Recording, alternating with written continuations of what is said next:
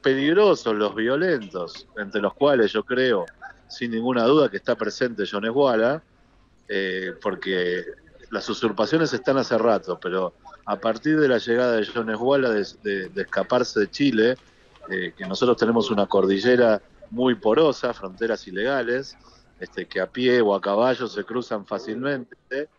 El primer episodio de violencia, donde yo creo que ya estaba John Esguala, fue eh, cuando quisieron quemar vivo a un vecino del, municipio del Bolsón. Acaba de eh, renunciar la ministra de Género, eh, Elizabeth Gómez Alcorta, ministra de Género, de Mujeres, Género y Diversidad. acaba de renunciar como producto de las diferencias que tiene el gobierno con respecto a la ocupación de tierras en Villa Mascardi. Gerardo Milman, diputado nacional por el PRO, ex secretario de Seguridad, seguramente debe tener una mirada sobre el tema. Milman, muy buenas tardes, noches. Todo el equipo de esta tarde saluda. ¿Cómo va? ¿Qué tal, Luis? Buenas noches. Bueno, eh, no sé si sorprendidos, pero sí, ¿por qué no? Sorprendidos, no de las contradicciones del gobierno, sí que terminaban así en este contexto, ¿no? Bueno, lo que ocurre es que la ministra Gómez Alcorta ha sido abogada de, eh, defendiendo varios de estas este, de estos personajes que consideramos terroristas, que hoy ya no tenemos temor a, caracterizarlos de ese modo, este, y, bueno, se le vuelve incompatible su función anterior, inclusive fue abogada del mismísimo John Esguala. Eh, así que era de esperar esta actitud de, desencuentro dentro de un gobierno que como en tantos otros temas eh, se formó para ganar una elección, pero no tiene un acuerdo de cómo gobernar la Argentina. ¿Qué, eh, eh, ¿Usted considera que el operativo que hicieron es correcto? ¿Está de acuerdo con eso? ¿Tiene una mirada este, parecida a la que, bueno, podría tener hoy el ministro de Seguridad, Aníbal Fernández? Para mí, Luis, no hay un operativo, hay la simulación de un operativo. Un operativo tan anunciado que permitió que los cabecillas de esta organización terrorista se profugaran.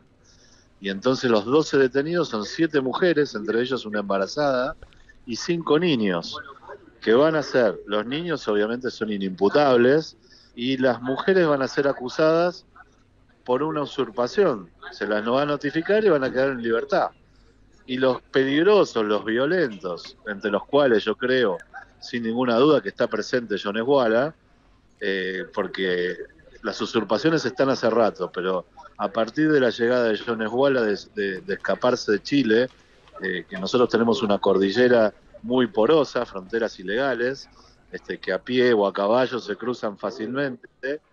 El primer episodio de violencia, donde yo creo que ya estaba John Esguala, fue eh, cuando quisieron quemar vivo a un vecino del, municipio del Bolsón, en la provincia de Río Negro, hace un par de meses, que por suerte sobrevivió a esa situación.